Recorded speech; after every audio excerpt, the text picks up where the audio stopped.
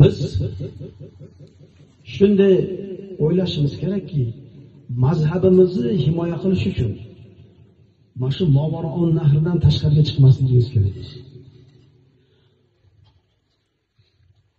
Hanafiy mazhabi juda keng tarqalgan dunyoni hamma taraflarida bor hanafiylar mazhabimiz shu darajada kengki dunyo musulmonlarini uch hissa qilganda ikki hissasi hanafiy mazhabida bo'ladi. Musulmonlarni ikki hissasini hanafiy mazhabi tashkil qiladi. Qolgan bir hissani imomi molik imomi shofiy imomi ahmad ibn hamballarni mazhablari hammasi bir bo'lib bir hissa bo'ladi. Bizni mazhabimizni nufuzi shuncha katta. Natijada nima bo'ldi? Mazhab juda kengayib ketganligidan bu dunyoda tarqalganligidan bir birlaridan uzoq joylarda bo'lib e, ixtiloflar paydo bo'ldi. Xuddi mushtahidlarni ixtilofiga o'xshagan ashobi tarjihlarda ham ixtiloflar bor. Tabaqot ulamo degan narsa bor. Chala bilasizlar. Ba'zida yetti xil yetti tabaqa qilib ba'zan besh tabaqa qilib bayon qilishadi.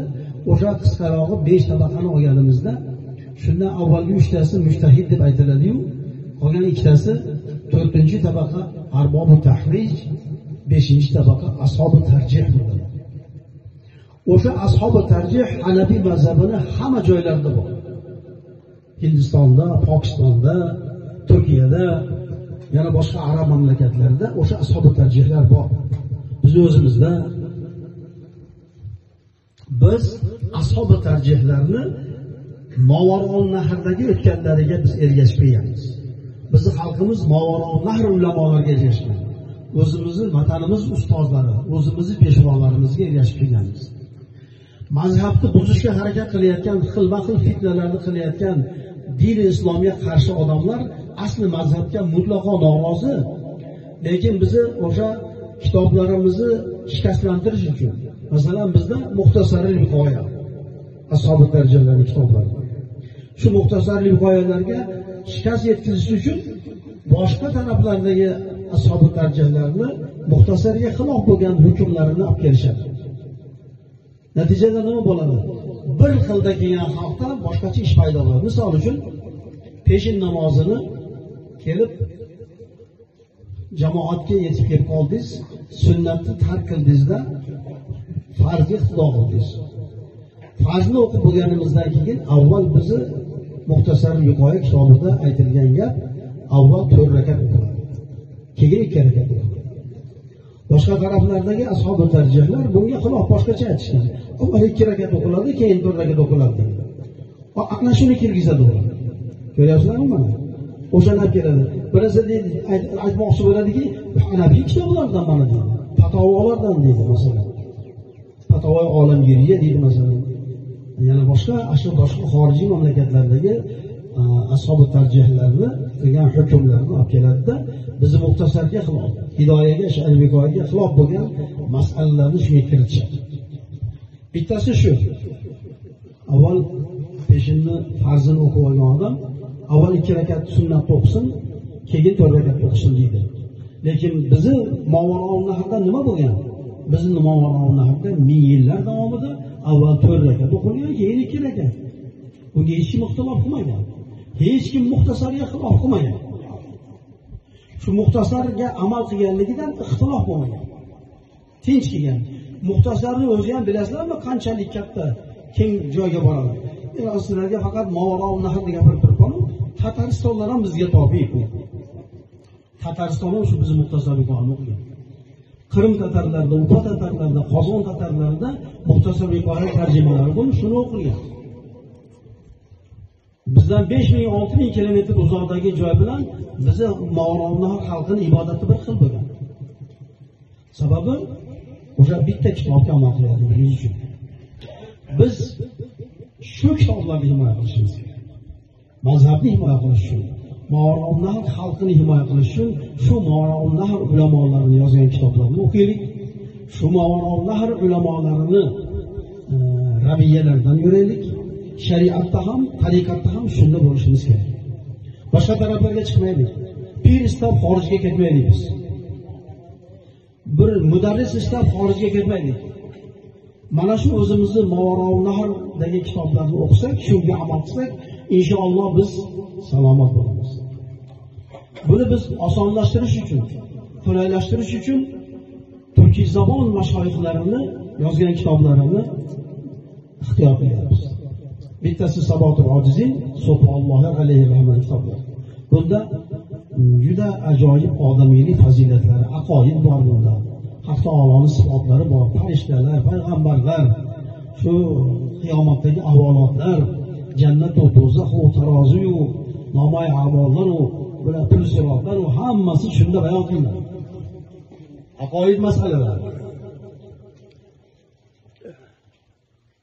Inson kamoloti uchun kerak bo'ladigan e, mahzur bir narsalar bayon qilinadi. Takabbur tazallul ulardan salomat qolish. O'rtasi tavozu. Tavozu mamduh takabbur bilan tazallul bu mazmun bir narsa. Mana shular bayon qilinadi. Tavakkul. Dinga fidoyilik. Mazhabni millatni mashoyihlarni rabiyalarni makka ushlash. Hammasi shu kitobimizda kelyapti. Aimma bildi qur'on manisin tuz ko'ngilni qo'ymagil sen harfayu yuz. Mana imomlarga ergashishlik haqida mana shunaqa gaplar bor. Tavakkul qanaqa bo'lishi kerak? Mazmunlari kelyapti. Tavakkulgar kishi yo'ldoshi bo'lsa ajab ermas qarotosh oshi bo'lsa. Mana shunga o'xshagan yomonlardan hazar qilishlik haqida. Agar o'zini qarindoshi bo'lsa ham nasihat qilsa olmasa qattiq gapirib ko'rsa eplamasa oxiri undan hajr hijronga buyuryapti. Rasululloh shunga aytadilar aqori yurmasa ko'ngli aqorib qo'lingdan kelsa hech o'tirma borib mana yomonlardan hazar haqida mana shu kitoblarni biz tanlayapmizki agar shuni o'qisak tavakkulli bo'lamiz. Tamadan qaytaradi tama bir parcha bo'lsa qilmag'il roy bo'lur bir parchadan yuz parcha bejor tama noni g'alab ochguncha o'l och tama bo'yi ko'rinmay bo'yidin qoch mana bu nasihatlar olam olam nasihat do'stlar. Shuning uchun biz bizni mana shu o'zbekistondagi domlalar hidoyatlik odamlar bilan maslahatimizda turkizabon xalqini ulamolarini yozib qo'ygan kitoblari shu darajada mukammalki ortiqcha arabiy kitoblarga ham hojatimiz qolmaydi.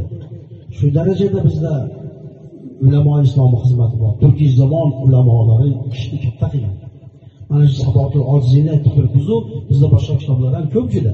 Lekin eng qulay foydalanish uchun shu bittani aytyapmiz. Maqsadimiz turkiy savodxonlikni rivojlantirishimiz kerak. Odamlar kiril kitobini o'qishga tushib qoldi. Qur'on tarjimalari qachon chiqdi? Ellik yil oldin qur'on tarjimasi yo'q edi. Qur'on tarjimasini qilib odamlarni qo'liga berdi kiril harfida yozib berdi. Namoz o'qimaydigan odamlar uni o'qib turib nima balo qilsa qilyapti o'sha suriyaga boshqa chetli mamlakatlarga ketib jihodga ketayotganlar qur'ondagi jihod oyatlarini o'qib olib turib shu jihod deganda ketyapti bu jihodni qanaqa bo'lishini so'qib bo'lmay aytib qo'yganlar bizni mashoyihlarni kitoblarida turibdi. Shuning uchun xalqimizga shunday xizmatlar qilaylikki biz nahr bolalari ahli ilmlari mullachalari sabotul ojiziyni o'qitaylik. Ahkomga majmuul maqsud. Bu majmuul mahsus shunday kitobki bu turkiy muxtasarni sharhlari ham ko'p. Masalan yana bittalarini otlari nima? Salot masudiy. Salot masudiy bor. Yana boshqalari ham bor. Hazrati bobur alayhirahmat she'riy tarjima qilganlar muxtasar. Lekin bu majmuul mahsud hammalaridan qulayroq. Sababi bunda boshqa mazhablar aytilmagan. Faqat o'zimizni mazhabimiz aytiladi. Boshqa mazhab aytilmaganligi uchun e, turkiy savod endi juda yuqori ma'lumotga ega bo'lmaganligi uchun chalg'imaydi mazhabini mukammal bilib ketaveradi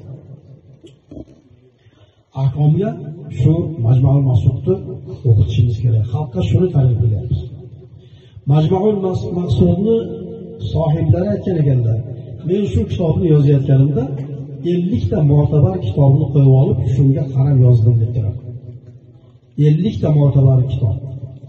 Radil mutorga o'xshagan badoiga o'xshagan. Yana boshqa elliktada endi ellikta deb turdi ellikta mo'tabar kitobga qarab solishtirib yozganman demak biz majmul maqsuddan javob bersak inshaalloh to'g'ri bo'ladi shu masalamiz. Bitta doktor professor alloma arab tilini allomasi aqoiddan bir gapni aytadigan bo'lsa biz sabotul ojizlik bilan uni o'lchaymiz gapini sabotul ojizingga to'g'ri kelsa olamiz to'g'ri kelmasa olmaymiz. Bitta alloma fiqiy bitta masalani bayon qiladigan bo'lsa majmuul maqsudimizga solib ko'ramiz majmuul maqsudga to'g'ri kelsa olamiz to'g'ri kelmasa olmaymiz. Bizni majmuul maqsudimizni masalalari ellikta mo'tabar arabiy kitoblarga qarab olingan masala bu. Shuning uchun bugungi kunda osonroq uslub uchun biz shuni tanlayapmiz qo'limizda arabiy kitoblar ko'p. Alhamdulillah hamma arabiy kitoblarni o'qiydigan mutolaalik e, yigitlarimiz bor. Millatchalar bor ilmlar bor shunda. Ammo xalqqa nima kerak? Ommatan xalqqa savodxonlik kerak. Mana bu din g'ami do'stlar.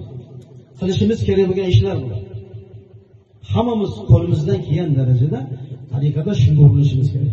G'aflatdan uyg'onishimiz kerak. Agar biz ham mazhabimizni himoya qilamiz vatanimizni himoya qilamiz.